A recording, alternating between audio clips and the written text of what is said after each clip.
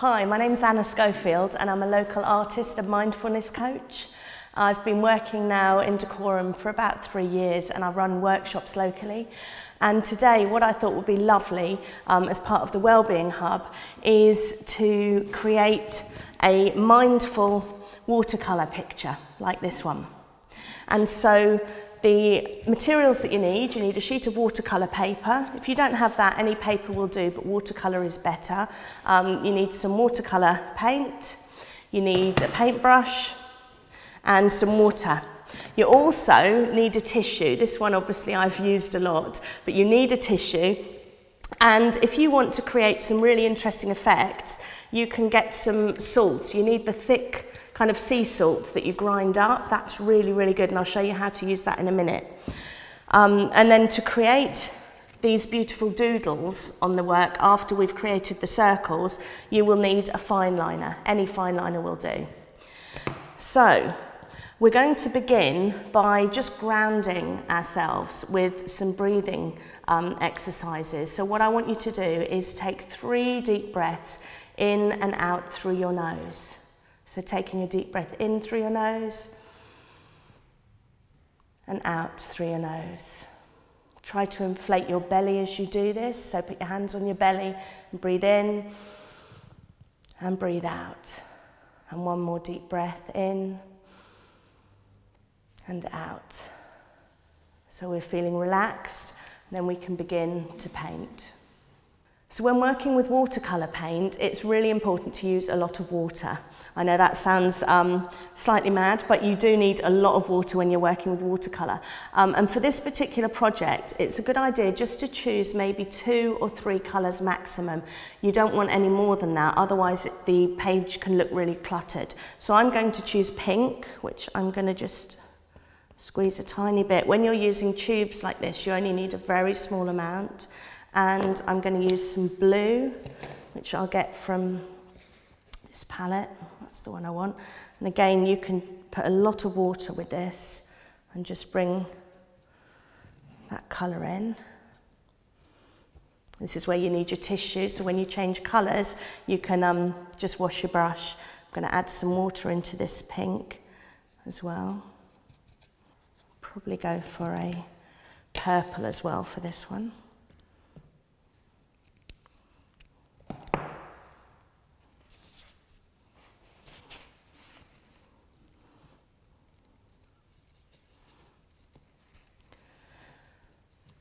So when laying the paint down onto the page, you want it very diluted. You don't want it very, very bright. The idea with watercolour is to build up layers. So I'm going to start just in the corner here and I'm just going to make a circle and you can see that's quite pale.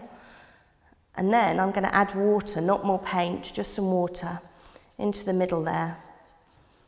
And you can see that colour just developing. I can pop some more water in there And it doesn't have to look even. In fact, the more uneven the paint looks, the better. And then I'm going to choose a different colour now. And I'm going to over, well, I'm going to get the two circles to actually touch because then what you get is a lovely blend of two colours going into one another. I'll show you what I mean. So I'm going to do slightly smaller circle this time. It's good to vary the sizes. Again, putting water into the middle, and you can see there already here where the blue and the purple are mixing. You can take a bit more of the blue and just put some dots around there. And it's really nice just to take some time now and just watch how that paint moves and how the water, you add some more water and you get these lovely swirls. And this is where the mindful element of the painting comes in. It's not a fast um, painting. You're going to take your time, you're going to build up the layers, and you're going to um, just kind of watch the paint move. So I'm going to take the purple again, and I'm going to do another circle here. Again, adding more water, and you can see already here the blue and the purple mixing, which is really lovely. And you're probably noticing when I'm saying I'm painting circles that they are not perfect circles. They're in fact quite uneven and I quite like that. I'm not looking for perfection here at all. It's more about the, the process and enjoying creating. So again, here I go with the pink. And you can see already the purple and the blue mixing here, which is really lovely. Now at the beginning I did mention salt and I'll show you what we can do with the salt. What you can do is you can just grind it while the paint is still wet. You can grind the salt on here. And you don't do it on all of them, just on a few.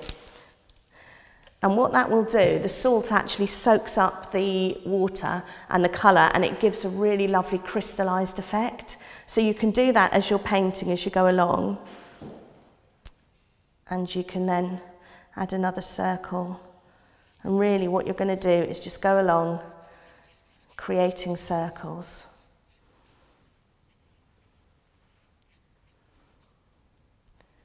You may want some of them a little bit darker than others, so again you can just drop some paint in there and just wait and see what it does. It doesn't have to be even, it doesn't have to be perfect here.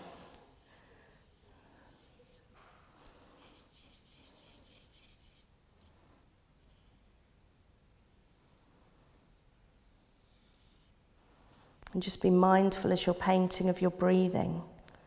Try to breathe through your nose. There's a lot of health benefits for breathing through your nose. Uh, and it also mimics the kind of breathing that you do when you're sleeping. And so you get that lovely deep breath, which can really support relaxation.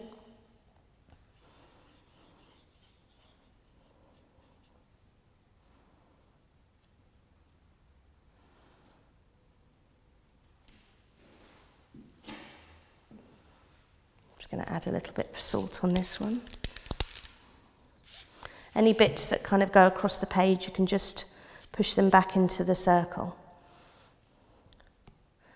Now, if you get some paint running here, like I've got, and you don't want it that dark, what you can do is take your tissue and just dab, and it just takes away some of that colour. You may notice some of your circles are a bit too pale, so you may want to add a little bit of colour onto those. You don't have to do it around the edge, you can go anywhere, you can kind of go here where the circles join, and you can tip your page as well. And what happens then is you can see that the colours will definitely blend into the circles next to them. So you can see the colours here blending and here.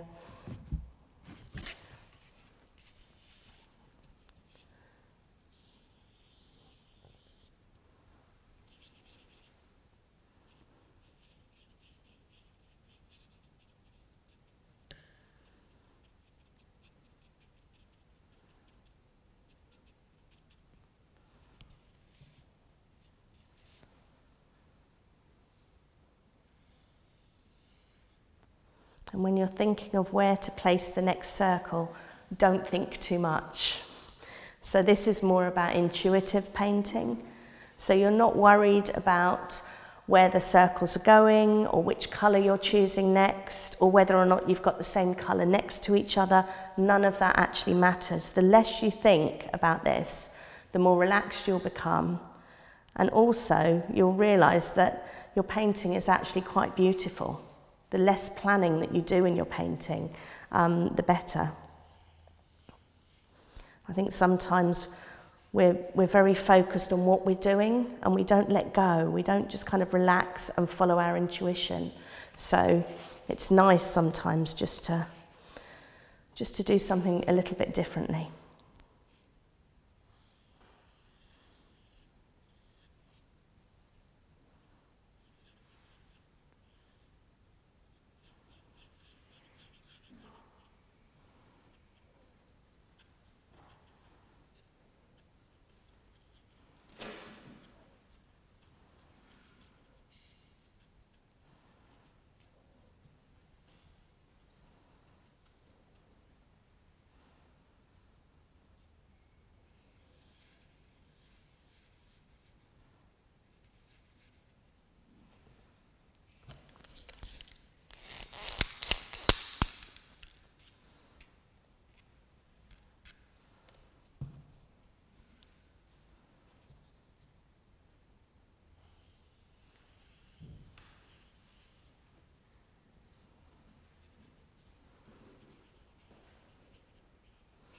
You may notice as well as your water gets muddier um, with colour, the colours will start to mix. So my water's gone quite purpley now. And as I've added the, the pink there, it's more a purpley pink, which is actually fine. Um, we're wanting to blend the colours anyway, so it's going to work out. And when using colour in art, it's a really good idea to blend the colours that you're using together and let them mix a little bit. It just helps them sit better on the page. So just go with the flow on this one.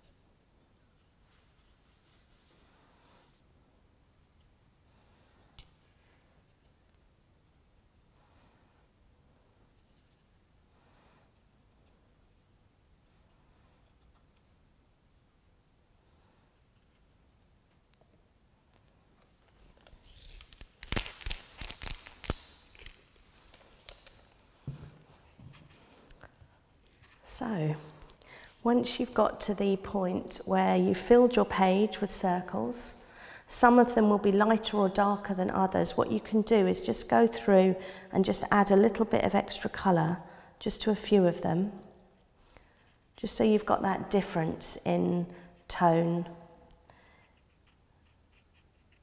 My paper's curled up a bit now, so everything's kind of flowing this way. But again, that's part of the beauty of it, the, the randomness, the not knowing where the paint is going to flow and how it's going to look at the end. And again, just kind of bend your paper and let the paint just go where it wants to. Now at this point, what we need to do is just let the page dry. Okay, so what I'm going to do is use a hairdryer Okay, so I've got a little hairdryer here. The trick is put it on a very low setting. If you put it on a fast setting, the wet paint, especially the very watery paint, will just kind of shoot off and you'll get lots of splatters. You might quite like that effect, so go for it if you want, but I'm going to put it on a very low setting and hold it a little bit higher and just um, dry each, each section.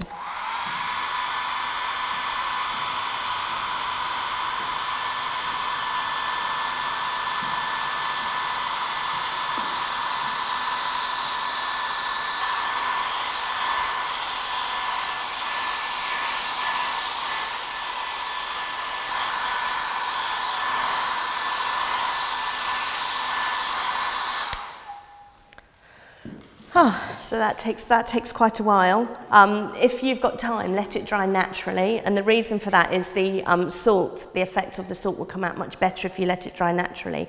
But what you've got now is your, your page and you've got a lot of the, um, a lot of the salt here. So all you need to do is literally rub that off with your finger.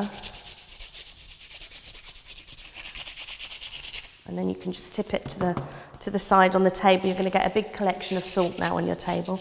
Um, I suggest you throw that away after you've used it in your artwork.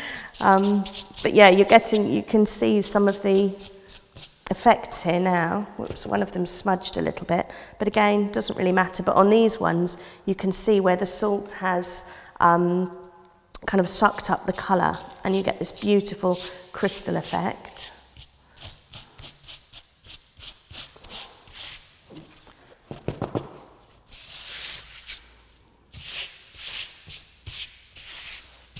So, there. I think that's all the salt off. I'll find out when I start doodling.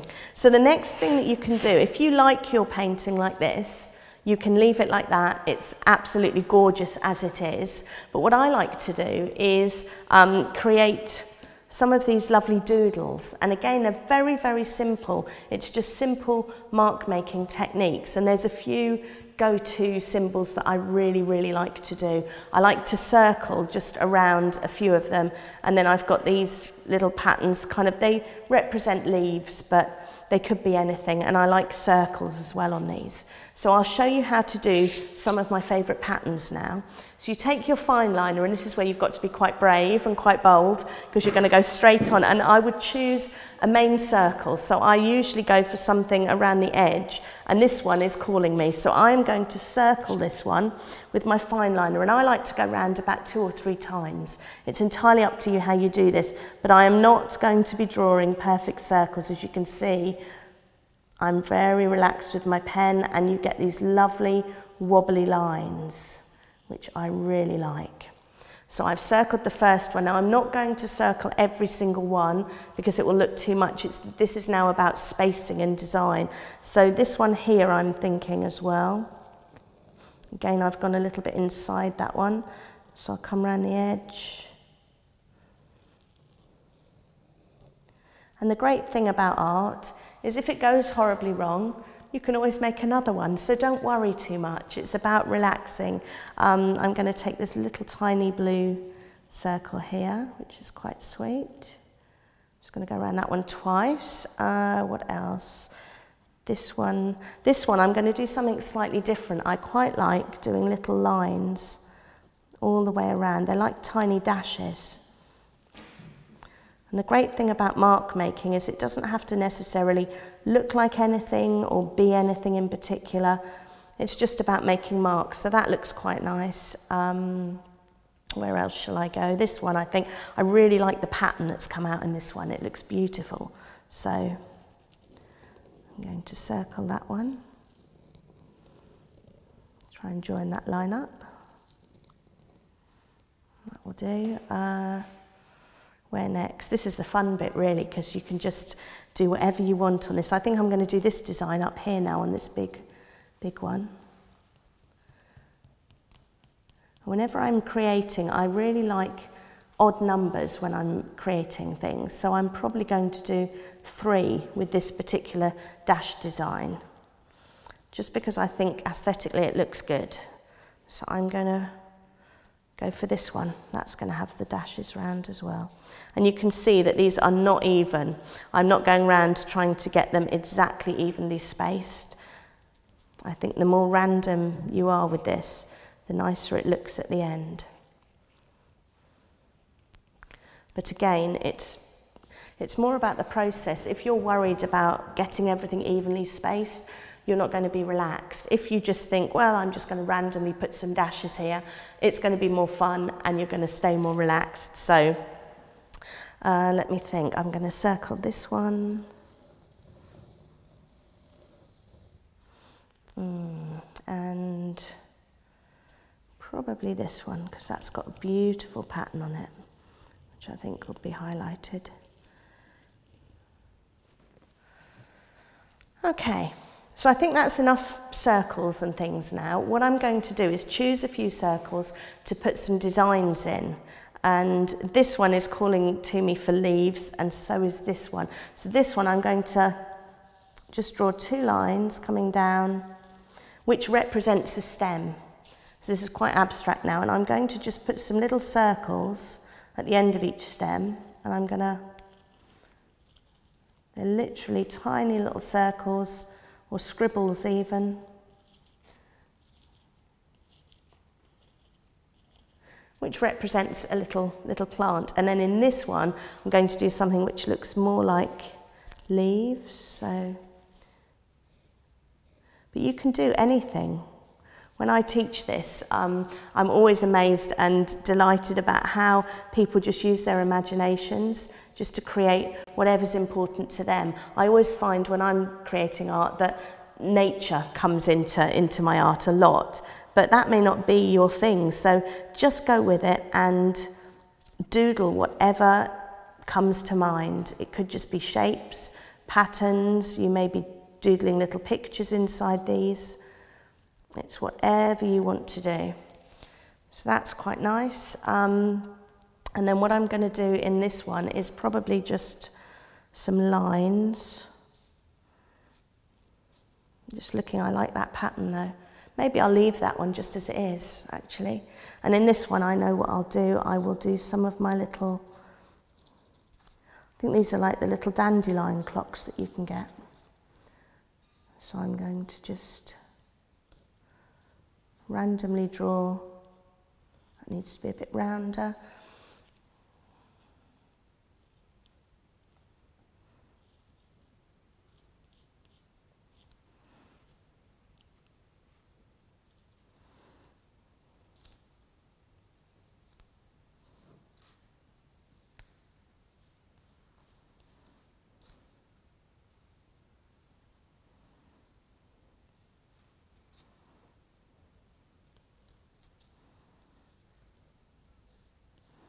And again, you can see that those are not perfect or even.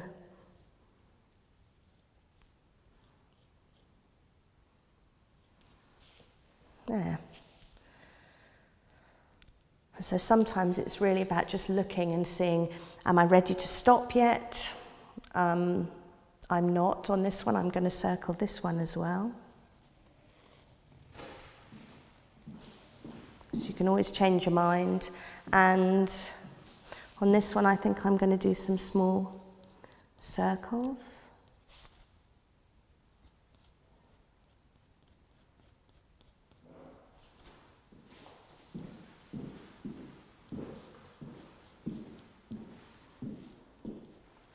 You can see how I'm not spending too long looking at this and thinking, where am I going next? I'm being quite intuitive and just going for it.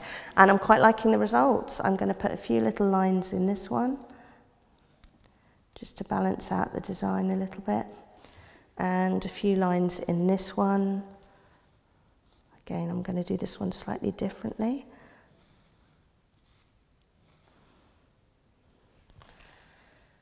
And I think for me, that's finished. So I hope you've enjoyed this video. I hope you've enjoyed creating your, um, your mindful circles with watercolour. If you are interested in doing any more workshops, I do run workshops. My website is www.annasfunkyart.co.uk. I run regular workshops. They're currently on Zoom, but I do run face-to-face -face workshops too in the community, and I would love to meet you and um, hear about your circle painting. Thank you very much.